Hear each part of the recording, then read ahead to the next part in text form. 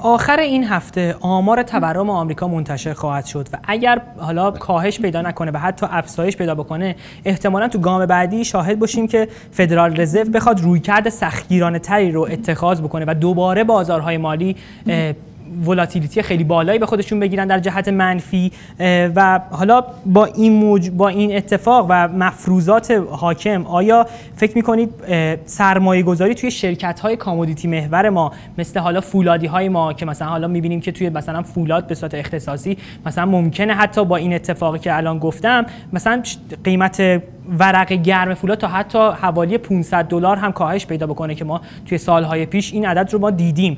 فکر می‌کنید هنوز میشه توی این شرکت ها و این صنایع سرمایه گذاری کرد؟ و اگر الان کسی پیش شما بیاد توصیه خرید توی این سهم و صنایع رو به ایشون می‌تونیم بدین شما؟ والا خیلی بخوام صادقانه جوابم نه جوابم. علت هم داره واقعیت اینه که با توجه به چشم اندازی که تو افزایش نرخ بهره هست خب خودتون هم فرمودید اینا تاثیری که می‌ذارن اینه که خب نرخ کالای جهانی کاهش پیدا می‌کنه و این کاهشه همونجوری که حالا قبلا قبلا هم توی بازار سرمایه دیدیم این کاهش اثر می‌ذاره روی در واقع P/E forward مون EPS پیش بینی شده خب تقریبا کاهش پیدا می‌کنه با این اتفاقاتی که پیش رو هست. برای همین واقعا اینکه ما اگه بخوایم یه پورتفوی بچینیم OK یه تیکه خیلی کوچیکی از پولمون رو به این سهمای این چنینی اختصاص میدیم. ولی کن اینکه بیایم یه سرمایه گذاری بلند مدت جدی روی اینا داشته باشیم با توجه به چشم اندازی که هست به نظر من خیلی کار درستی نیست. چون که الان در واقع احتمالا نرخ بهره دوباره 75 صدام درصد رشد پیدا بکنه با توجه به حالا تحلیل های هست حالا برخی تحلیل که میگن حتی ممکنه این یه درصد بشه.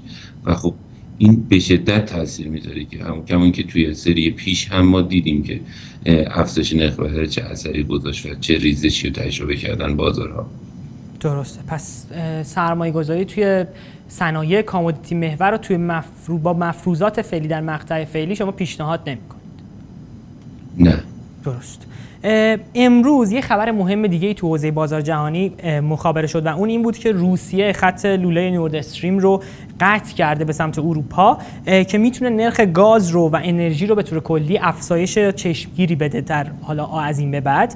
آیا این اتفاق می‌تونه نقش حمایتی رو برای نرخ‌های کامودیتی ایفا بکنه و به نوعی کف اونها رو ببنده و دیگه شاهد کاهش قیمت شدید کامودیتی ها نباشیم؟ چرا چرا که چون ممکنه که دیگه بهره وری نداشته باشه برای کارخونه ها با نرخ‌های انرژی فعلی تولید بکنن و حالا به سمت شاتدان برن و همین موضوع عرضه و تقاضا رو دچار تغییراتی بکنه. نظر شما راجع به این اتفاق چیه؟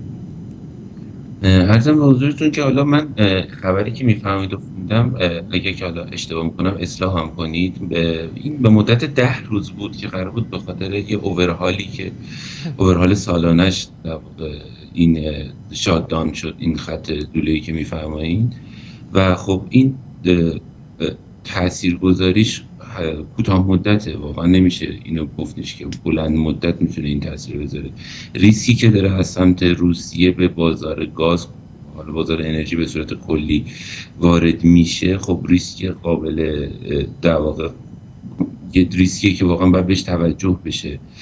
ولیکن اینکه این اتفاق اخیر بخوایم اینو در نظر بگیریم که یه اثرگذاری خیلی جدی داشته باشه روی بازارهای جهانی به صورت بلند مدت من حقیقتا این اثرش رو خیلی